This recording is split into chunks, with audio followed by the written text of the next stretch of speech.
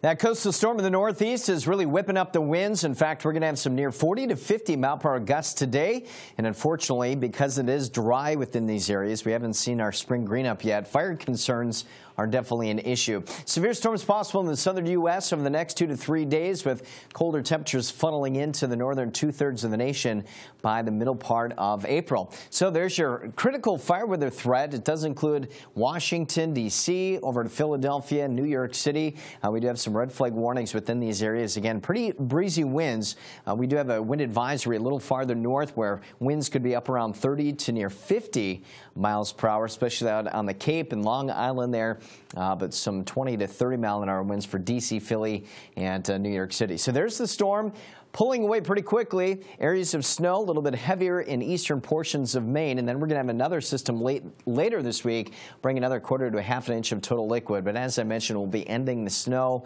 in uh, eastern portions of Maine and uh, wrapping up here pretty quickly by the afternoon. Temperatures nationwide running a little cooler in the northeast still, uh, but 72 in Houston, 80 in Phoenix, and 79 in Miami. A little bit cooler in Dallas and Houston today, but there's that cooler outlook again from the 10th to the 16th. The northern two-thirds of the nation still dealing with some slightly below average temps and then a little bit wetter than average across the midsection of the nation. Severe weather concerns today across the Oklahoma and Texas panhandle into portions of the lower Mississippi Valley.